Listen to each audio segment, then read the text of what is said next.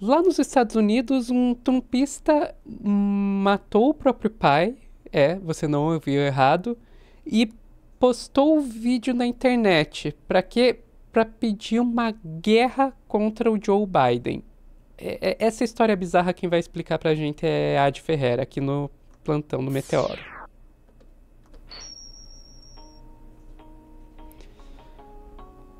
Essa é uma história que não dá para brincar, não dá para entrar sorrindo, porque, não. meu Deus, me explica o que, que, é isso, Ad. Eu só, só dar um bastidor aqui. Quando a Ad me sugeriu essa pauta de hoje de manhã, eu fiquei assim, tipo, pera, isso realmente aconteceu? É, imagina eu que acordei, peguei o celular, hum, vou dar um tempo na cama, vou ver o que, que tá acontecendo. E eu vi o vídeo. Ai. E eu não trouxe o vídeo porque o vídeo é cruel, é bizarro e assim, na boa, é realmente é terrorista. No final das contas é isso, é terrorista. Mas vamos lá, o nome do, da pessoa que matou o próprio pai é o Justin Mon, ele tinha tem 33 anos e ele matou o pai de 68, Mike Mon. E aí ele se gravou segurando a cabeça do pai tá? E publicou ah. na internet um vídeo de 40 minutos pedindo uma revolução contra o que ele chama de regime Biden, tá? Como se Biden fosse um ditador, meu Deus. Uh, além de discurso xenofóbico, LGBTfóbico, tudo aquilo que a gente já conhece, só que agora com um a mais, que era a cabeça do próprio pai dele na mão dele. E ele também se autoproclamou comandante das milícias dos Estados Unidos, tá? E ele explicou por que, que ele matou o pai. O pai era servidor federal há 20 anos e, de acordo com ele, seria um traidor, tá? Eu só vou falar essa única frase que eu acho que, enfim, abre aspas, ele está agora no inferno para toda a eternidade como traidor de seu país. Fecha aspas. Puta que Como pariu. se não bastasse toda essa história ter, já ter acontecido, essa plataforma de onde a gente fala deixou o vídeo no ar por seis horas. Tá? Só foram retirar os vídeos quando as autoridades da Pensilvânia, que já tinham, já estavam atrás do suspeito, não sei nem se dá para dizer suspeito, mas quando iam atrás do Justin, aí eles pediram para a plataforma, pra plataforma derrubar o vídeo e só aí a plataforma derrubou o vídeo. Vocês terem noção, é seis horas de milhares e milhares de pessoas assistindo aquilo ali, que é um vídeo extremamente radicalizado. Ele pode ser pra gente que, que tá aqui, que, que tem noção de que as coisas são exageradas e que tá uh, dentro Que ainda tem contato com a realidade. E é que eu não queria falar que era Sam, mas a gente que segue Sam, um, pra gente isso choca muito e, e isso causa uma aversão, tanto à pauta em si, quanto à pessoa, uma motivação. Só que para as pessoas que estão dentro desse dessa loucura, que infelizmente não são poucas, isso aqui é um vídeo de incitação de violência extrema. Esse vídeo foi deixado no ar por seis horas, tá? E o, o, o Justin, ele foi, ele foi pego quando ele tentava deixar o estado da Pensilvânia, tá? Ele, 100 quilômetros já, e ele tava no carro do pai dele. E, bom, eu acho que depois que a gente já falou tudo que, o, o que ele pensava e qual era a ideia dele quando ele matou o pai e gravou o vídeo, a gente já pode dizer que ele é trampista. Mas para quem não assistiu o vídeo, eu trouxe algo melhor. Eu trouxe um discurso que incentivou este homem a pensar o que ele pensava.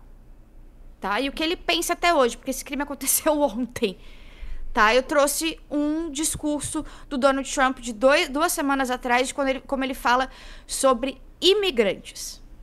Bora lá. We're going to seal up the border. Because right now we have an invasion. We have an invasion of millions and millions of people that are coming into our country. I can't imagine why they think that's a good thing. It's a very bad thing. I think it's a group of people that probably larger in number than New York State. And we can't have that. We can't have that. It's not sustainable as a country. It's horrible.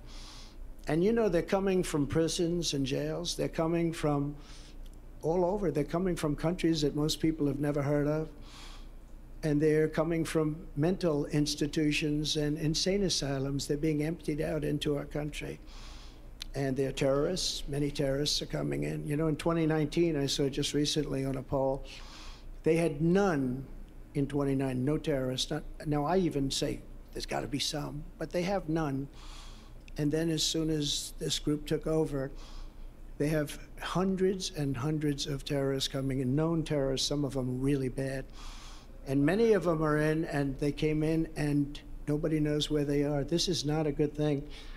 And we're going to have to deport, we're going to have to have a deportation level that we haven't seen in this country for a long time, since Dwight Eisenhower, actually.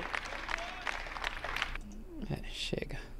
Eu, eu não botei também a, a, as piores partes, tá? Não trouxe as piores partes, porque eu acho que essa notícia já é pesada o suficiente. Então, imaginem uma pessoa que dessa forma mata o pai porque acha que o pai está sendo uh, cúmplice disso tudo que o Donald Trump falou nesse vídeo que a gente acabou de assistir. E, cara, desculpa, Sofia, é muito difícil falar sobre, sobre o que eu assisti, porque é pesado, é realmente um incentivo a terrorismo doméstico, a assassinatos e é extremamente que o enon das ideias, assim, a, a forma como ele se portava, as teorias que ele falava, tudo vem dessas fake news do que, eu, que o Enon, que é nada mais. Gente, vocês vão acreditar em um anônimo na internet que só assina com o quê? Sabe? É bizarro, mas isso tá acontecendo já faz muito tempo. Já vai fazer quase. Já tem quase 10 anos a teoria do QAnon. E essa uhum. pessoa tava to tá totalmente inundada nisso, sabe? E acabou fazendo esse crime horroroso e a plataforma ainda ajudou, né, a, o terrorista a propagar suas ideias por seis horas. Pois é, pois é. Aí tem, tem tanta coisa para falar sobre isso, né? A primeira coisa que me vem à cabeça é, e quem destrói a família é a esquerda, né?